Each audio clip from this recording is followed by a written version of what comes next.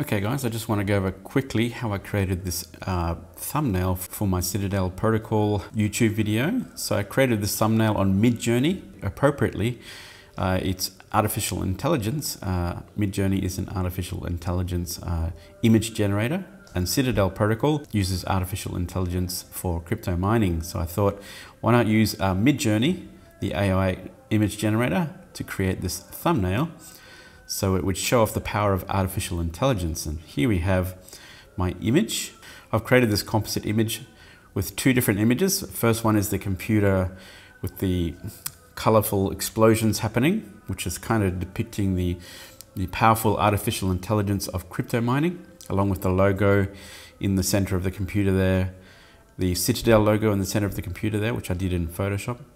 And the second part of the image was to create this uh, character, which is based on a photo of me. So as you can see here, this is one of the photos that I use for my thumbnails when I create my thumbnails for YouTube. And uh, I, I decided to use one of these photos here to upload to Midjourney to create this character that you see in front here. So I'm just going to go through Midjourney and show you what prompts I used or similar prompts that I used to create this image or these two images to compose together. So here we are on Midjourney and I'm not going to go through how to operate or how to get into Midjourney. Just go to midjourney.com and then you'll need to connect up with Discord if you don't have an account. And once you're on Midjourney, you just go to one of these channels called Newbies and you can start typing in prompts to create your images. So first thing I'm going to do here is I'm just going to do a prompt which needs the word imagine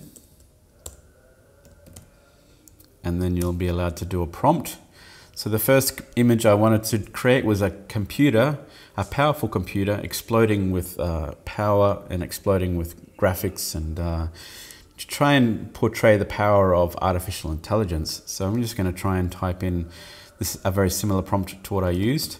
Computer, powerful, uh, exploding, vibrant colors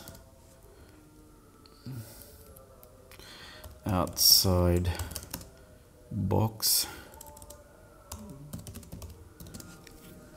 Vibrant colors, computer. Oh, I'll type that in right. Flowing, exploding colors. Outside box, vibrant, vibrant colors. And we want to do an aspect ratio of 16.9 something similar to a YouTube thumbnail.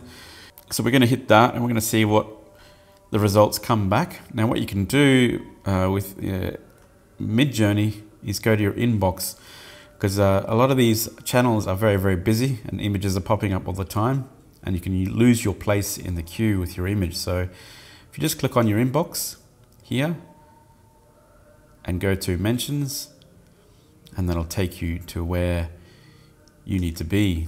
So here is the results for the prompt that I used. Now, of course, it's not going to give the same results uh, that I had from my thumbnail, but you can see where it's going from here. So if I jump to that particular spot and let that finish uh, creating that image, and you can see it's finished creating four variations of the prompt that I asked for.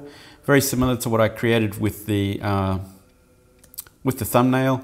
Of course, I did do some variations and I, I spent about 20 minutes doing variations and uh, creating different styles.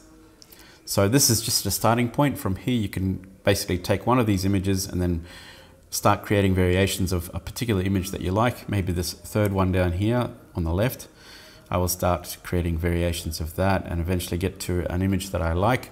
Maybe take the prompt that you initially put in and then change that prompt with a slight, slight adjustments to make a bit more precise image that you would like. And that is how I created the first image of the thumbnail. The way I created the second image was my character. Now all I did was upload my photo. Once that file has uploaded, I just copy the address to that image, copy image address, and then I can paste that address into the Imagine prompt, and then I can prompt uh, certain elements that I want to be. So I, what I did with my character was I created uh, coal mining because I wanted to create the character to have a bit of a mining feel to him because this is an AI mining protocol. So I did coal mining, rich, high res, vibrant, uh, realistic,